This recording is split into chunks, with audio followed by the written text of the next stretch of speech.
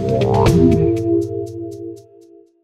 Бессмертный полк прошел по улицам Саратова. Акцию памяти не остановила даже непогода. Саратовцы с портретами своих родственников, участников Великой Отечественной войны, прошлись по историческим местам города, откуда воины отправлялись на фронт, где они учились и жили. Галина Загуменная, бывший диктор саратовского телевидения, потеряла на войне своего дядю. Его так и не нашли. Важность бессмертного полка для нее понятна, как никому другому. Именно память за тех, кто полег – понимаете?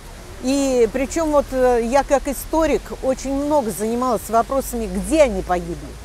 Искала. Э, то ли э, в Великих Луках, где до сих пор черепа лежат.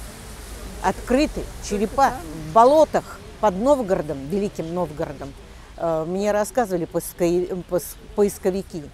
И Поэтому, вы знаете, самое главное – благодарность. Акции Бессмертного полка проходят по всей России. Это движение пошло, как говорится, снизу. Здесь нет места для политики или какой-либо идеологической пропаганды. Бессмертный полк призван сохранить личную память о военном поколении в каждой семье. Одна из целей акции – стать всероссийской традицией во время празднования 9 мая. Но без флагов и напыщенных речей, как пишут сами организаторы этого движения. Быть может, 9 мая стоило бы снова сделать больше именно днем памяти, чем праздником, учитывая огромное количество людей, погибших во время Великой Отечественной.